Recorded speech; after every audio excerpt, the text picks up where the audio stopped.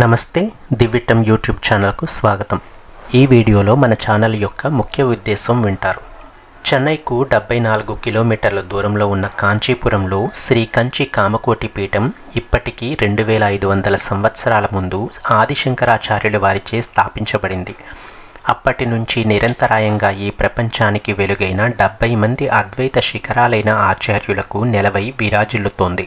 ప్రస్తుతం పీఠాధిపత్యం వహిస్తున్నవారు శ్రీ శంకర విజయేంద్ర సరస్వతులు డెబ్బైవ ఆచార్యులు. వీరి గురువులు పూజ్య శ్రీ జయేంద్ర సరస్వతి స్వామివారు.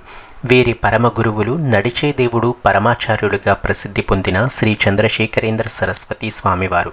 వారి గురించిన లెక్కలేనన్ని లీలలు నక్షత్రాలుగా శాశ్వతంగా మెరుస్తూ ఉంటాయి. అతి కొద్ది లీలలను సేకరించి మన ఈ దివ్విట్టం యూట్యూబ్ ఛానల్లో ఇప్పటి వరకు నూట ఇరవై రెండు లీలలను మన ఈ దివ్విట్టం యూట్యూబ్ ఛానల్లో వీడియోస్ ద్వారా అందించడం జరిగింది. శంకరాచార్యుల పాదస్పర్శతో పునీతమైన ఈ నెల అయిన కంచి మోక్షదాయిని. ఆయన నగరంగా ప్రసిద్ధమైన పుణ్యక్షేత్రంగా పేర్కొంటారు. సప్తమోక్షపురులలో ఒకటి. మేలు రకమైన పట్టు చీరలకు కొన్ని వందల సంవత్సరాల నుంచి కాంచీపురం ప్రసిద్ధి చెందింది. పురాణాలలో కంచి మహాపట్టణం మహర్షులకే ఒక తీర్థయాత్రా స్థలంగా చెప్పబడింది. ఉమా సంహితలో వ్యాసుల వారు నందికేశ్వరుల వారి శాపానికి గురి అయినప్పుడు శ్రీ మహావిష్ణువు అతనికి శివుడిని ఆరాధించమని అంటారు. వ్యాస మహర్షి వారణాసి నుంచి బయలుదేరి కాంచీపురానికి చేరుకుని శివుణ్ణి తన శాప విమోచనానికై ప్రార్థిస్తారు. అతనికి శాప విమోచనానికి గుర్తులుగా వ్యాసముని చేతులు పైకి పెట్టి ఉన్న. అలాగే తర్వాత సాధారణ స్థితిలో ఉన్న శిల్పాలు ఇ- ఇక్కడి ఆలయ గోపుర విమానంలో చూడవచ్చు. భాగవత పురాణంలోను మార్కండేయ పురాణంలోను కంచి గురించి ఇతోధికంగా చెప్పబడింది. బ్రహ్మాండ పురాణంలో కంచి కాశీక్షేత్రాలు పరమశివుని రెండు నేత్రాలుగా వివర్ణింపబడ్డాయి కంచి పట్టణమంతా దేవాలయాలమయం. కొన్ని వేల కొలది దేవాలయాలు ఉన్నాయి. అందులో ముఖ్యమైనవి కామాక్షి ఏకామ్రనాథ వరదరాజ కైలాసనాథ వైకుంఠ పెరుమాల్ ఉలకలంత పెరుమాల్ ఆలయాలు. ఈ పట్టణంలో ప్రధాన దేవత కంచి కామాక్షి అమ్మవారు. ఇక్కడ ఆరాధించే శివలింగం పృథ్వీలింగం జ్యోతిర్లింగాలలో ఒకటి. ఈ లింగాన్ని సాక్షాత్తు పార్వతీదేవి మట్టితో తయారు చేసి స్థాపించింది. మట్టితో కాబట్టి ఈ లింగానికి అభిషేకం ఉండదు. ఆదిశంకరులు దేశంలో చాలా ప్రాంతాల్లో పర్యటించిన తరువాత కంచిలో ఒక పీఠాన్ని ఏర్పాటు చేసి ఆ మఠాన్ని తానే అధిష్ఠించారు. కాల ప్రవాహంలో వైదిక మతంలో ప్రాంతీయ ఆచారాలతో సిద్ధాంత విభేదాలతో అనైక్యతతో పాటు అనేక దురాచారాలు ప్రవేశించాయి. ఆ లోపాలను ఎత్తి చూపుతూ వైదిక మతాలను నిరసిస్తూ వ్యతిరేకంగా అనేక ఇతర మతాలు ముఖ్యంగా జైన బౌద్ధ మతాలు ఎదురుదాడి చేస్తున్నాయి. వేదాల ఉనికికే ప్రమాదం ఏర్పడిన ఆ పరిస్థితులలో ఆదిశంకరుడు బౌద్ధ చార్వాకాది నూట ఎనిమిది మతాలను ఖండించి వారిని తన జ్ఞానంతో జయించి అద్వైతమే వైదిక మత పరమావధిగా అద్వైత మతాన్ని స్థాపించారు. వీరు శరీరంతో జీవించింది కేవలం ముప్పై రెండు సంవత్సరాలు. నేటికి రెండు వేల ఐదు వందల సంవత్సరాలకు పూర్వం ఇప్పటి కేరళ రాష్ట్రంలో కాలడి గ్రామంలో శివగురు ఆర్యాంబా పుణ్య దంపతులకు జన్మించారు. శంకర భగవత్పాదులు అపర ఈశ్వర అవతారం జ్ఞానులందరికీ చక్రవర్తి. వీరి అద్భుతమైన లీల ఒకటి జగమెరిగినదే. బాలశంకరులు భిక్ష కోరినప్పుడు ఒక ఇల్లాలు ఇంటిలో అంతా వెదికి ఏమీ లేక ఒక ఎండిపోయిన ఉసిరికాయను మాత్రమే ఇస్తుంది. ఆమె నుదుటిపై ఉన్న దారిద్ర రాతను చదివి శంకర భగవత్పాదులు జాలి చెంది శ్రీ మహాలక్ష్మిని కనకధారా స్తోత్రంతో స్తుతిస్తారు. అమ్మవారు ప్రసన్నం చెంది ఆ ఇల్లాలి ఇంట్లో బంగారు ఉసిరికాయల వర్షం కురిపించారు. శంకరుడు శ్రీ గోవింద భగవత్పాదుల వారిని గురువుగా స్వీకరించి వారి ఆదేశానుసారం అద్వైత విద్య బోధిస్తూ వారణాసి చేరుకుంటారు. అక్కడ ఉండే కాలంలో వ్యాసుల వారి బ్రహ్మసూత్రాలకు భగవద్గీతకు భాష్యాన్ని రచించారు. ఒకనాడు వృద్ధిని రూపంలో వ్యాసమహాముని శంకరులతో తీవ్రంగా వాదిస్తారు. ఆ సమయంలో శంకరుల శిష్యులు శ్రీ పద్మపాదుల వారు వచ్చిన వారు వ్యాసులను తెలియపరచగా శంకరులు వారికి ప్రణమిల్లుతారు.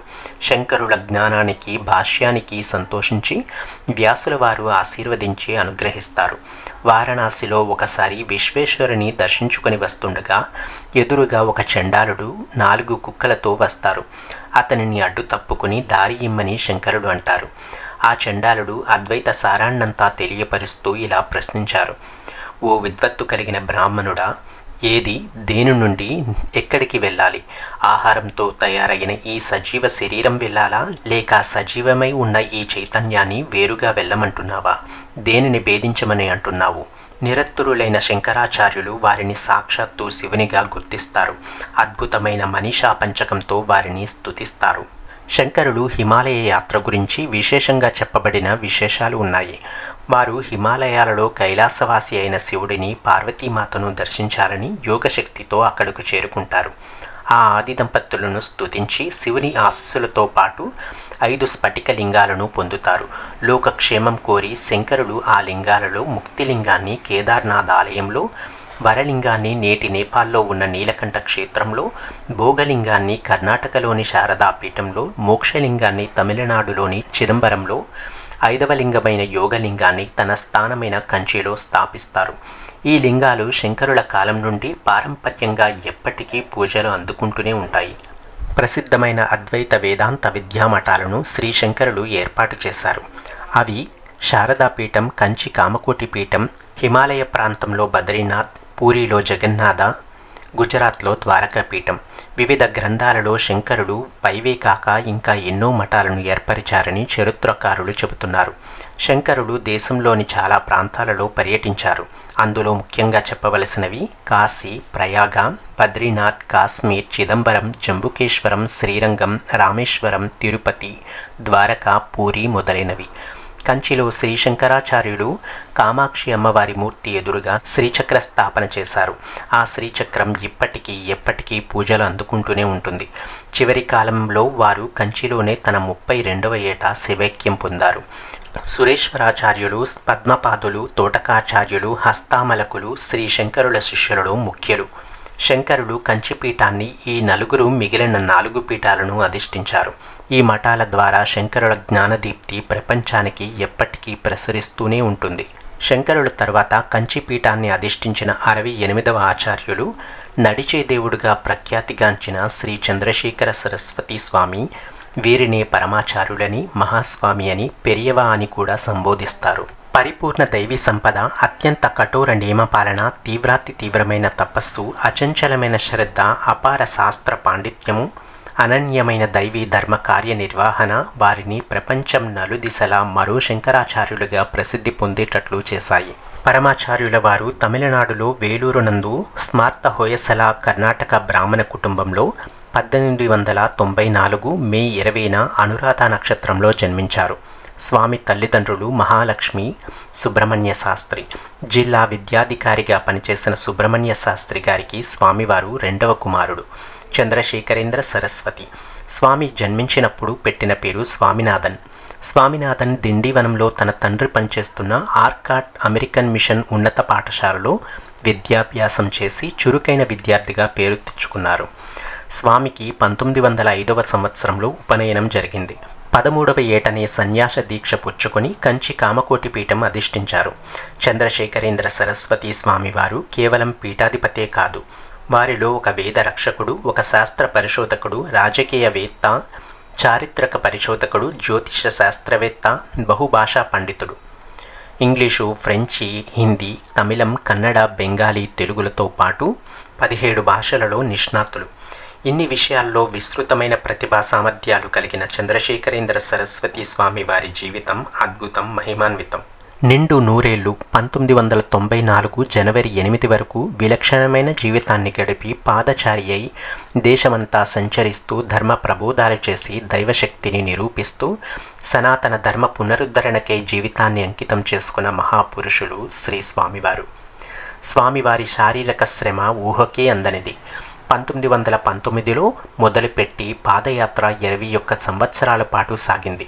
కొన్ని లక్షల మందిని అనుగ్రహిస్తూ ఆధ్యాత్మిక జాగృతి కలిగిస్తూ చేసిన ఈ యాత్రలో పంతొమ్మిది వందల ఇరవై ఏడులో పాల్ఘాట్ వద్ద మహాత్మా గాంధీతో కొన్ని గంటల పాటు చర్చలు జరిపారు. గాంధీ గారు భోజనం చేయటం మర్చిపోతే రాజాజీ గారు అంటారు రాత్రి భోజనానికి గుర్తు చేస్తే గాంధీ గారు మహాస్వామిని ఉద్దేశించి ఈ మహానుభావునితో మాట్లాడుతూ ఉంటే నాకు కడుపు నిండిపోయింది. ఇంకా నాకు భోజనం అవసరం లేదు అన్నారు. కౌపీనవంత కలుభాగ్యవంత అన్న శంకరుల వ్యాఖ్యలకు ప్రమాణంగా జీవించారు శ్రీ స్వామివారు.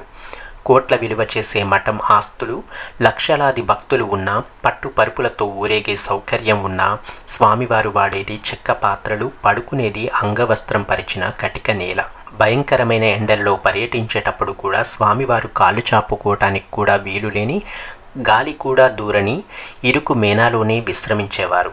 శౌచామనములకు తప్పించి నీరు కూడా తీసుకునేవారు కాదు. సంవత్సరంలో సగం రోజులు ఉపవాసం. చాలా రోజులు కాష్టమౌనం ఏకాదశి ఉపవాసం సాయంత్రం త్రయోదశి గడియలు వస్తే ఉపవాసం నవరాత్రులలో ఉపవాసం. పద్నాలుగేళ్ళకే ఉప్పు చింతపండు మిరపకాయలు వదిలేశారు. కొన్నాళ్ళు కేవలం పచ్చి ఆవుపాలు మరికొన్నాళ్ళు కేవలం మూడు పిడికిళ్ళు అన్నం. ఇంకొన్నాళ్ళు కేవలం పెరుగులో నానబెట్టిన పేలాలు. ఇలా అత్యంత కఠోర నియమపాలనతో జీవించారు. ఒకసారి ఒక ట్రస్ట్లోని డబ్బులు పొరపాటున వేరొక ట్రస్ట్లోని కార్యక్రమాలకు వాడటం జరిగింది. అది ట్రస్ట్ నియమాలకు విరుద్ధమని తర్వాత తెలిసింది. ఆ డబ్బు తిరిగి మొదటి ట్రస్ట్లో జమ కట్టే ఏర్పాటు చేసినంత వరకు ఉపవాసం చేశారు స్వామివారు. పరమాచార్యుల వారికి నాలుగు సార్లు. పంతొమ్మిది వందల యాభై నాలుగు పంతొమ్మిది వందల యాభై ఏడు పంతొమ్మిది వందల అరవై ఐదు మరియు పంతొమ్మిది వందల తొంభై మూడులలో కనకాభిషేకం జరిగింది. వారిని సన్మానించిన వారిలో భక్తులలో సర్వజాతుల వారు ఇతర మతాల వారు విదేశాల వారు సామాన్య మానవుల నుంచి ప్రధానమంత్రి రాష్ట్రపతుల వరకు ఉన్నారు. అందరి గౌరవ వందనాలను పొంది వారిని అనుగ్రహించారు. స్వామివారిని ఎందుకు అర్చించవలనంటే సమస్త సాధకములందు ఉత్కృష్టతనుందిన మన కంచి యోగీంద్రులను అర్చించినట్లయితే మనము కోరుకున్న సిద్ధి లభిస్తుంది. బ్రహ్మ నుంచి చీమ వరకు ఉన్న సమస్త ఉపాధుల్లోనూ వ్యాపించి ఉన్న బ్రహ్మ పదార్థమును చూడగలిగిన ప్రజ్ఞ వారికి ఉంటుంది అంటారు బ్రహ్మశ్రీ కుప్ప లక్ష్మావధాన్లు గారు.